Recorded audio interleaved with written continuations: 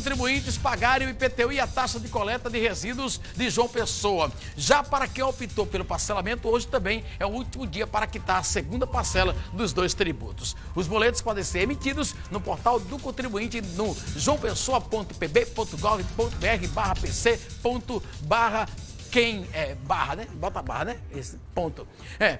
Quem não tiver acesso à internet ou não conseguir imprimir online, pode ir nos postos de atendimento da Secretaria da Receita. O atendimento está disponível no Centro Administrativo Municipal em Água Fria, Água Fria ou nas casas da cidadania. Não é isso, pessoal? Deixa eu mandar um abraço aqui para Dona Ivânia, para Joyce.